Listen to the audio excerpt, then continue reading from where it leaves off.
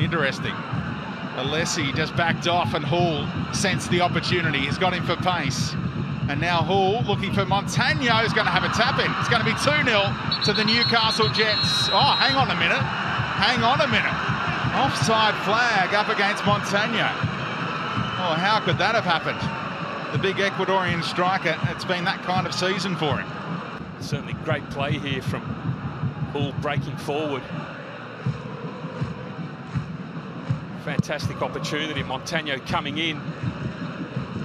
How on earth has he given offside and, there? And that is just a disastrous decision, isn't it? That is a shocking call by the assistant on the far side.